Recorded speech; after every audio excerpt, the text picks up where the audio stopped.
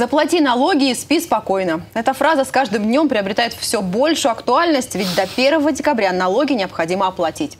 Много ли у нас должников и как с ними бороться? Об этом мы не только поговорим в студии, а у нас в гостях Юрий Куриленко, руководитель управления Федеральной налоговой службы России по Алтайскому краю. Здравствуйте. Добрый день. Насколько активно жители региона оплачивают налоги?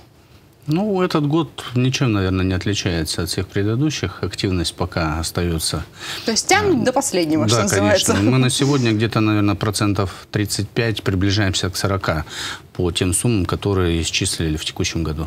Угу. Но потом, к концу года, к декабрю, как-то вот э, ну, как правило, процентов? Да, процентов 80 платят, не дожидаясь того, чтобы мы вынесли требования и отправили информацию судебным приставам. То есть где-то к концу года подбираемся ближе к 90 даже процентов. Угу. Но стоит, наверное, отметить, что все же от платы налогов э, не убежать, да, и есть определенные ну, воздействия. Ну, фактически невозможно. Понятно, что основные мероприятия проводят судебные приставы, если мы говорим о физических лицах, а у них-то, собственно говоря, достаточно широкий спектр э, возможностей.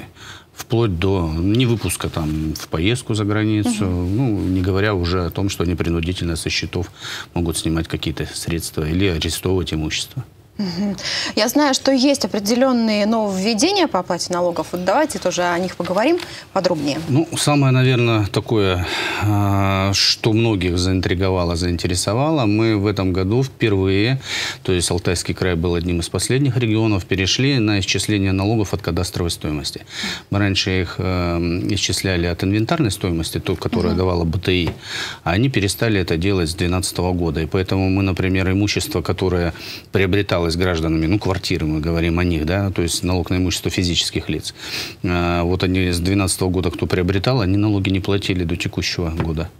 И получается сейчас, когда мы исчислили по кадастровой стоимости, у нас более 28 тысяч объектов добавилось. У нас сейчас где-то чуть больше 900 тысяч граждан, плательщиков налога на имущество физических лиц. То есть получается, а, жители новостроек, которые Совершенно были сданы в эксплуатацию в 2012 году, Угу. Не платили не налоги платили, по но... сей день? Ну да. Ну, если говоря образно, мы не говорим там конкретных дат, там, ну, говорю, ну, вот по сегодняшний Да, совершенно момент. верно. То есть им не исчислялись и не направлялись уведомления, то есть они до сих пор по этому вопросу не сталкивались с государством и с налоговой службой. То есть, то есть если они получают был, была, вот эти быть... уведомления на госуслугах или, да. может быть, почтой? Да, да, да как интересно реагируют? Ну, по-разному. Хотя законодатель, конечно, позаботился о том, чтобы не было такого культурного, назовем uh это, шока.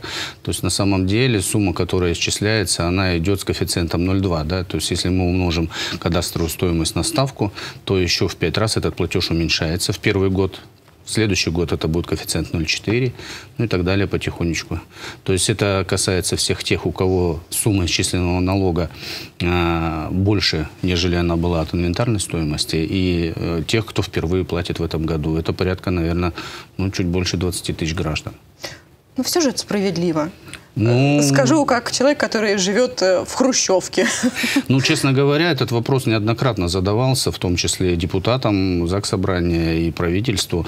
Ну, вот последний срок был прошлый год, когда угу. необходимо было провести все работы, принять соответствующие решения. И в этом году мы уже исчислили и направили уведомления. Мы направили уведомления чуть больше одного миллиона граждан наших. А, это вошли туда начисления по налогу на имущество физических лиц, вот то, о чем мы говорим, по э, квартирам, там, домам э, и так далее, по земельному налогу и по транспортному налогу, это если есть автомобиль. То есть все три налога входят в одно уведомление, и в этом же уведомлении мы еще исчисляем, если вдруг э, гражданин получил доход, который не был задекларирован, то есть мы самостоятельно тоже его исчисляем, и, собственно говоря, в это уведомление ставим. Но сейчас не об этом. То есть сейчас конкретно мы говорим про те налоги, которые гражданин платит со своего имущества. Таких налогов три у нас э, в Алтайском крае, земельные, имущественные и транспортные, и до не позднее 1 декабря необходимо уже эту сумму заплатить. Мы на самом деле уведомления разослали всем. Э, и как я уже говорил, это порядка миллиона граждан, а 300 тысяч из них получили в личный кабинет. То есть есть такой mm сервис у Федеральной налоговой службы, мы туда направили эти документы, и эти граждане по почте не получат совершенно ничего. То есть необходимо активнее пользоваться электронными сервисами. Ну, если говорить о транспортном налоге, он, наверное, самый интересный и самый обсуждаемый у автомобилистов, э, когда мы вспоминаем о разбитых дорогах. И всегда возмущаемся. Вот мы налоги тратим, а дорог нет вроде как. Ну, да, вы верно подметили. Он мало того, что самый обсуждаемый, он, в общем-то, в масштабе самый большой. То есть из, мы исчислили 3 миллиарда 800 миллионов, из них 2 миллиарда с небольшим, там, э, с приростом где-то на 50 миллионов к прошлому году, это транспортный налог. Mm-hmm. Платят его у нас в регионе порядка 500 тысяч граждан по 700 с лишним тысячам автомобилей. И тут еще интересная, наверное, такая цифра. У нас достаточно много льготников. А вообще львиная доля автомобилей до 150 лошадиных сил. Угу, а льготников у нас свыше 100 10 тысяч. А это значит, льгота дается, освобождается там определенной категории э, до 100 лошадиных сил. То есть, в принципе, достаточно большая категория льготируется. В нашем регионе транспортный налог, если в сравнении с другими, он на каком уровне? Самый высокий или достаточно стабильный? Ну, вы знаете, скажем так, эм, ну, на мой взгляд, достаточно ровная температура по больнице. Таких э, выпадающих прям регионов, где э, определенные категории там, граждан фактически чуть ли не в полном объеме льготируются, то есть нулевая ставка, да, там еще где-то, их нет. То есть везде по-разному подходит. Ну, вернее, в целом какие-то отдельные такие категории выпадают, но в целом ну, примерно одинаково. Угу.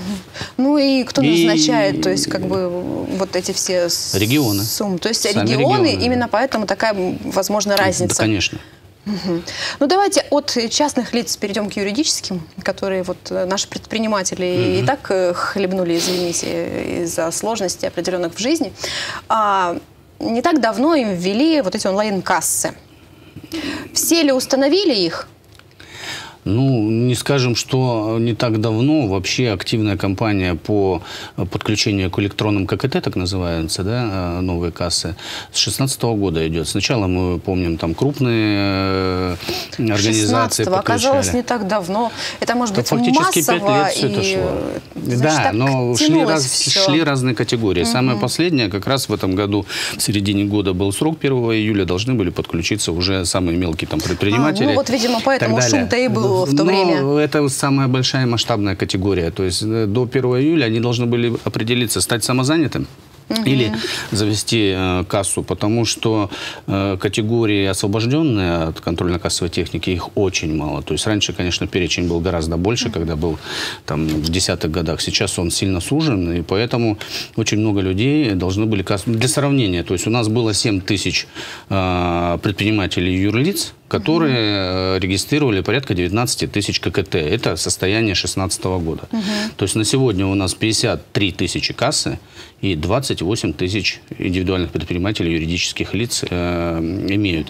И еще мы оцениваем где-то примерно, наверное, в пределах 10 тысяч тех людей, которые пока от нас прячутся. Ну, по большому счету... Прячутся? Мы... Ну, Каким конечно. образом у них это получается? Вот интересно. Ну, мы же видим, да, скажем так, человек осуществлял определенную деятельность. Мы видим коды, виды этой деятельности, видим его счета, понимаем, что у него проходили uh-huh, какие-то средства. Uh-huh. Мы видим, что он с 1 июля должен был приобрести ККТ и уже начать ее зарегистрировать и работать, а этого нету. Мы направили порядка 8,5 тысячам таких граждан идентифицировали их, направили им а, соответствующее уведомление, а, получили обратную связь в пределах там 1800 э, граждан откликнулись, ну из них э, тысяча заявились о том, что они только работают через расчетные счета, соответственно, не используют наличные денежные средства и карты платежи, платежные.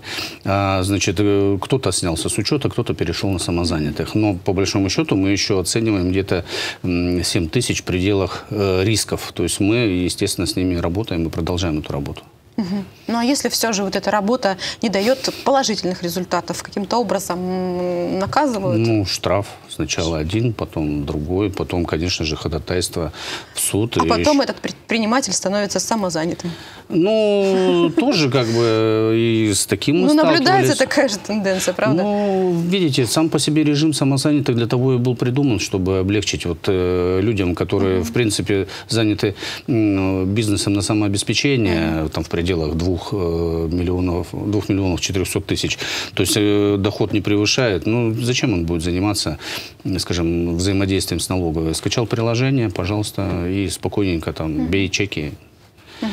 и живи спокойно. А в отношении контрольно-кассовой техники там, конечно же, больше ответственности, больше контроля, серьезнее подход в администрировании. То есть, например, взять эти проекты, которые мы э, последние, наверное, э, полгода занимаемся, общепит, так называемые рынки, может быть, уже даже слышали.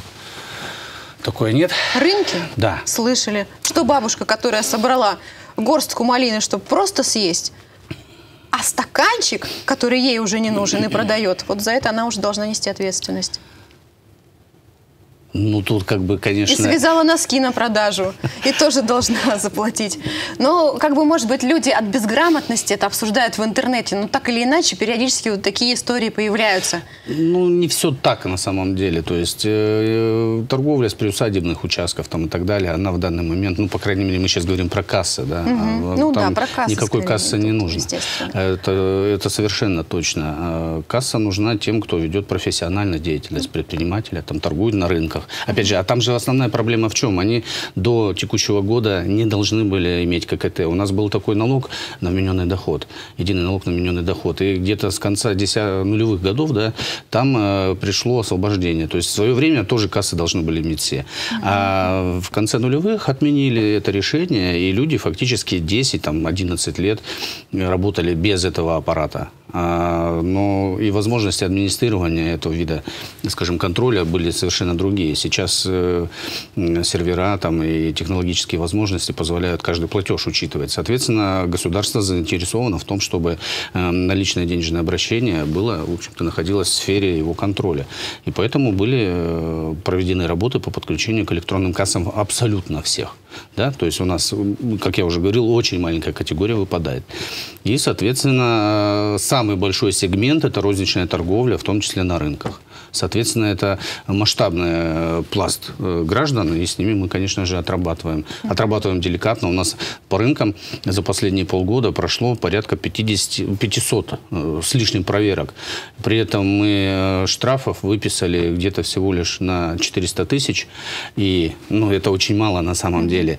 Просто, чтобы было понятно, больше 500 проверок – и 450 предупреждений. Штрафами отделались 80 граждан, которые, в принципе, оказались, видимо, ну, не совсем адекватно настроенными по выполнению своих обязанностей. Ну вот мы с вами говорим о контроле, о штрафах, о наказании всевозможном. А помощь-то есть? Будет? Ведь э, сфера бизнеса сейчас... Ну, она мало того, что да, сфера бизнеса, еще как бы и время-то такое. Ну. Мы в прошлом году э, картинку-то эту э, посмотрели, да, и, в принципе, по э, поручению президента были разработаны так называемые антиковидные меры, да, угу. э, именно денежные. Я сейчас не говорю в отношении там физических да, лиц, да, мы да. говорим ну, про предпринимателей. То есть мы выплатили 15, более чем 15 тысячам предпринимателей и юридических лиц по их 50 тысячам Э, работников, да, субсидии, то есть за два месяца там на одного работника там 12 с половиной с небольшим тысяч рублей. И, соответственно, эти же решения приняты сейчас. То есть, поскольку мы входили, например, в период нерабочих дней в начале ноября, да, э, соответственно, было постановление правительства, по которому э, также предусмотрена субсидия. Приблизительно той же самой категории организации предпринимателей, то есть есть соответствующие постановления, где перечень вида деятельности перечислены, мы уже сейчас имеем больше двух с половиной тысяч заявлений. Выплаты угу, начнутся угу. с 15 ноября угу. и продлятся весь декабрь. Где можно оформить, посмотреть, что необходимо Самое для этого? простое, самое угу. вот вообще легкое, зайти на сайт Федеральной налоговой службы, там вот такая mm. кнопка, скажем, с пол uh экрана баннера, и там конкретно можно нажать ее, вписать свой НН, и тебе будет показано. То есть Расчет при... сразу, да? При, причитается ли тебе субсидия или нет. Mm. То есть, и, соответственно, дальше ты можешь пройти в личный кабинет и заполнить соответствующее заявление. То есть, э, предельно упрощена процедура, но люди пытаются по старинке. Берут бумагу, распечатывают не ту форму, не тот вид То деятельности есть вы все же в электронном виде Я считаю, что это облегчит вообще, в том числе и муки хождения. Тем более сейчас как бы приемы мы тоже ограничиваем mm -hmm. в связи с эпидобстановкой. Работать через электронный портал портал Федеральной налоговой службы достаточно удобно и, мне кажется, переплюнет вообще любые возможности частного приема. Поэтому пускай я всех призываю. То есть, если вы предполагаете, что относитесь к категории, которая пострадала наиболее большим образом да, от вот этих всех наших противоковидных мероприятий, перестановок и так далее. Заходите, проверяйте, пишите свой НН, узнавайте, при, при, читается ли вам субсидия или нет. Хорошо, что частные приемы еще у нас не отменили, есть возможность встречаться лично. Ну, тут я вам тоже что благодарен, что вы пригласили, поскольку тема действительно такая достаточно щепетильная, мы сегодня затронули, причем даже три. Спасибо большое. Ну а я напомню, что сегодня у нас в гостях был Юрий Куриленко, руководитель управления Федеральной налоговой службы России по Алтайскому краю.